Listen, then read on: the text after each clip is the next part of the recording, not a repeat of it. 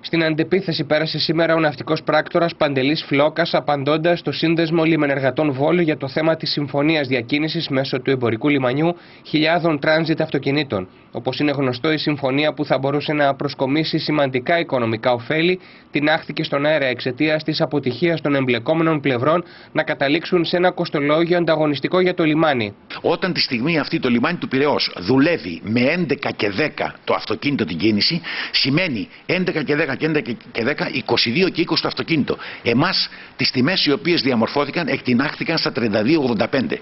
Από τα Εάν αφαιρούσαν τα 6 ευρώ τα οποία απαιτούν παράλογα για μένα, ναι, θα φτάναμε σε μια ανταγωνίσιμη τιμή και θα μπορούσα να προσελκύσω αυτοκίνητα, να δείξουν καλή συμπεριφορά και να μείνουν ευχαριστημένοι οι πελάτες και οι χρήστες του λιμανιού και κατόπιν θα εξελισσόταν σε ένα car terminal το οποίο θα ήταν ε, πολύ μεγάλο για την περιοχή. Και όχι μόνο αυτό, θα έπαιρνε υπεραξία το λιμάνι σε περίπτωση που θα ιδιωτικοποιηθεί.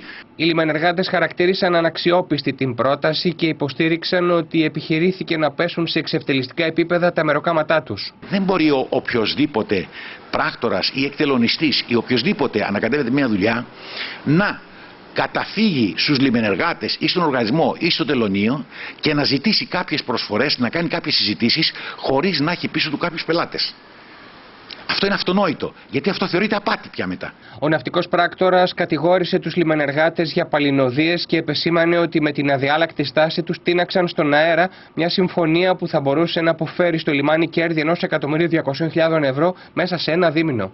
Σε πρώτη φάση τους δήλωσα ότι είναι 30.000 αυτοκίνητα ή 60.000 κινήσεις. Αυτό σημαίνει 60.000 κινήσεις επί 20 ευρώ είναι ένα 200 για δύο μήνες. Πώς είναι δυνατόν να προσβάλλουμε το μισθολόγιο των λιμενεργατών όταν θα, όταν θα πάρουν σε δύο μήνες 600.000 ευρώ. Όταν το σουβλάκι κατεβαίνει στα μισά χρήματα και ο καφές ε, δεν είναι δυνατόν να θέλουν να δουλέψουν με εποχές παχαίων αγελάδων.